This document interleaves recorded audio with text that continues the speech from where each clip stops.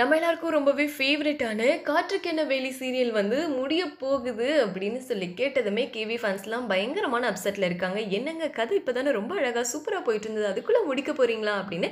S என்னன்னா இந்த September இல்லைனா அக்டோபர் மந்தோட ஸ்டார்டிங்லேயே வந்துட்டு இந்த சீரியல் முடிய போகுது. கிளைமேக்ஸ் ஷூட் பண்ணிகிட்டு இருக்காங்களாம்.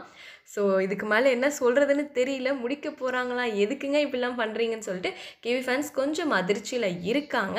பட் இருந்தாலுமே எல்லோரும் இப்போ என்ன ரெக்வஸ்ட் பண்ணுறாங்கன்னா இல்லை நீங்கள் சூப்பராக இருக்குது கதை.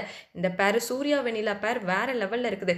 ஸோ இதே மாதிரி கதை கொண்டு போங்க அப்படின்ற மாதிரி சொல்லிகிட்ருக்காங்க பட் கண்டிப்பாக முடிவை மாற்றுறதுக்கெலாம் வாய்ப்பு கிடையாது. ஏன்னா இப்போ பிக் பாஸ் வேறு வரப்போகுது அப்படிங்கிறதுனால ஸோ சில சேஞ்சஸ்லாம் சீரியல்ஸில் பண்ண போகிறாங்க அதில் தான் இப்போ காற்றுக்கென்ன வேலி சீரியலை வந்து முடிக்கலாம் அப்படின்னு பிளான் பண்ணியிருக்காங்க கிட்டத்தட்ட மூணு வருஷமாக இந்த சீரியல் ரொம்பவே சூப்பராக போயிட்டு இருந்தது இந்த சீரியலுக்கு எக்கச்சக்கமான ஃபேன்ஸ் இருக்காங்க அப்படின்னு சொல்லலாம்.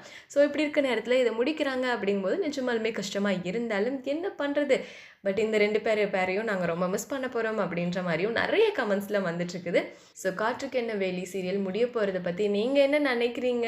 நீங்கள் இந்த சீரியல் எந்த அளவுக்கு மிஸ் பண்ண போகிறீங்க இந்த பேரை எந்த அளவுக்கு மிஸ் பண்ண போகிறீங்க அப்படிங்கிறத கமெண்ட்டில் சொல்லுங்கள் இல்லைனா இல்லை இல்லை பிக் பாஸ் தானே வருது. சரி ஓகே இந்த சீரியலுக்கு பதிலாக இந்த சீரியலை முடிங்க அப்படின்னு நீங்கள் எந்த சீரியலை சொல்லுவீங்க அப்படிங்கிறத கமெண்ட்டில் சொல்லுங்கள்